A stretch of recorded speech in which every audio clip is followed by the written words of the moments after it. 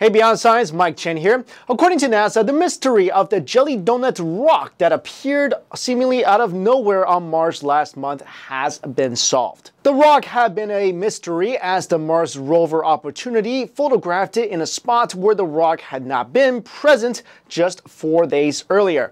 NASA described it as a white rock with a dark red low spot in the middle. The rock, more than 1.5 inches wide, was named Pinnacle Island. Since it was photographed, it had led to speculations that it was a fungus-like organism or a piece of Martian engineering.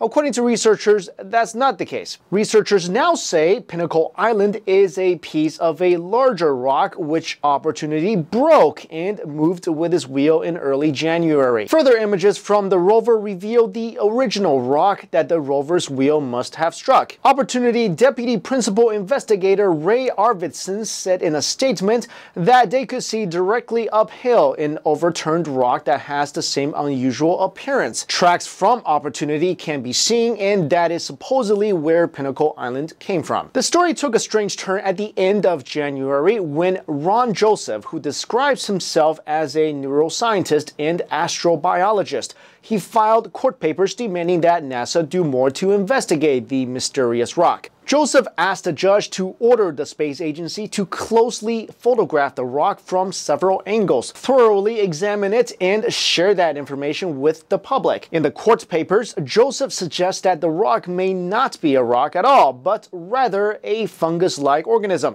If so, that would mean opportunity had discovered life on Mars. Of course, just because NASA is claiming that this is not a alien object doesn't mean everyone is buying it. But let me know what you guys think. Did Opportunity really break off a piece of a larger rock or do you think that yes, Opportunity has discovered life on Mars? Let me know in the comments below and guys, please don't forget to subscribe and I'll see you again next time.